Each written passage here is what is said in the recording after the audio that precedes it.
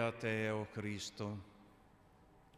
Carissimi fratelli e sorelle, uniti dalle vostre case in questa Santa Messa nella solennità di San Giuseppe, sposo della Beata Vergine Maria e custode della Sacra Famiglia, custode del Redentore.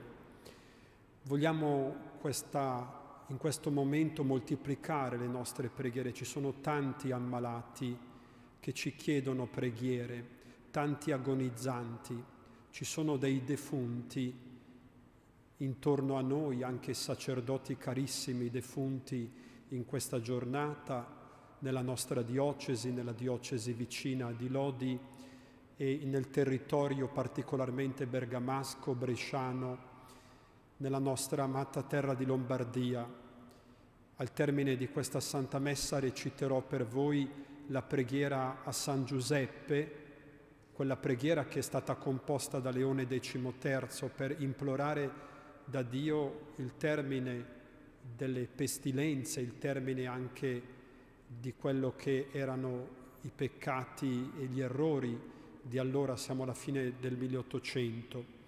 Guardando a San Giuseppe, noi vogliamo questa sera domandare la sua fede e la sua forza.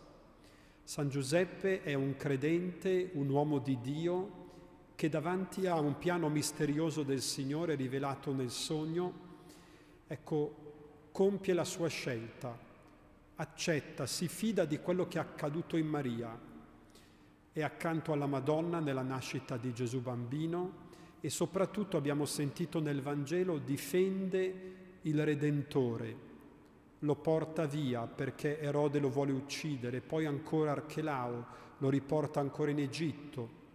Ecco il custode del Redentore. Questo verbo custodire è un verbo che ci aiuta questa sera a pregare.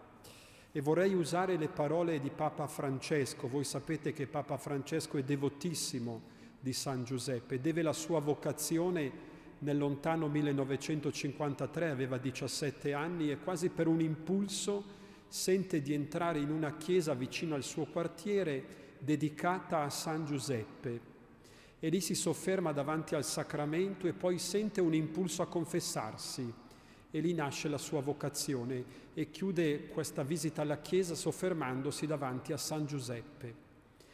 Il suo ministero di pastore della Chiesa universale inizia proprio oggi come 2013, 19 marzo.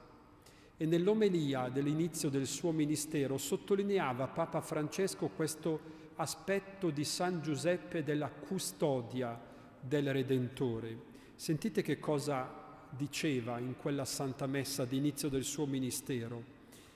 Giuseppe è custode perché sa ascoltare Dio, si lascia guidare dalla sua volontà. E proprio per questo è ancora più sensibile alle persone che gli sono affidate, sa leggere con realismo gli avvenimenti, è attento a ciò che lo circonda e sa prendere le decisioni più sagge. In lui vediamo come si risponde alla vocazione di Dio, con disponibilità, con prontezza, ma vediamo anche qual è il centro della vocazione cristiana. Il centro è Gesù Cristo. Custodiamo Cristo nella nostra vita per custodire gli altri, per custodire il creato. Ecco carissimi, mi sembra che questo è un messaggio che arriva a ciascuno di noi in questi giorni di pandemia, in questi giorni di forzato riposo e chiusura nella casa. Custodire Cristo in noi, non permettere che nessun pensiero, che nessuna tentazione, che nessun momento di scoraggiamento ci possa portare via Cristo, come ha fatto San Giuseppe che non ha permesso che Cristo venisse ucciso bambino da Erode, che ha fatto i suoi sacrifici, che ha portato via la famiglia, è, andata, è andato via dai suoi luoghi abituali, in esilio. Custodire Cristo nella nostra vita, Cristo vivo in noi, Cristo risorto, presente in mezzo a noi. Questo ci permette di custodire innanzitutto il nostro cuore, che non deve essere sequestrato. Certo, fratelli e sorelle, capitano i momenti di scoraggiamento, però stiamo attenti a non rimanerci sopra. Se ci rimaniamo sopra lavora il demonio. Subito lasciamo passare, come voltare la pagina e ritorniamo ad avere Cristo al centro del nostro cuore. Uno sguardo al crocifisso, una lettura del Vangelo, un pensiero alla Chiesa. Ecco, Cristo, custodire Cristo come San Giuseppe. E poi viviamo la nostra vita normale, perché se custodiamo Cristo in noi, come ci ha detto il Papa, possiamo custodire anche la vita degli altri. Penso in questo momento alla preghiera incessante per gli ammalati, custodire i nostri ragazzi, i nostri bambini che dobbiamo sostenere, i nostri anziani. E questo diventa anche per noi quella telefonata gratuita fatta a quella persona, magari che sappiamo è da sola, diventa magari il dare quel messaggio a quell'altra persona che magari si trova a curare un ammalato, a quel medico, a quell'altra, Ecco, custodire Cristo per custodirci tra di noi. Mi sembra un messaggio molto bello. Chiudo questa meditazione con una preghiera scritta proprio da Papa Francesco, rivolta a San Giuseppe.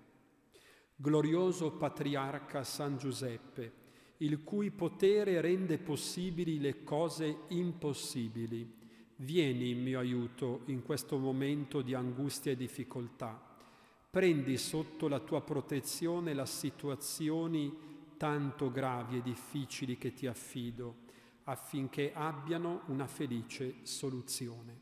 Ecco sia nostra questa preghiera, mentre con fede ci abbandoniamo alla divina volontà.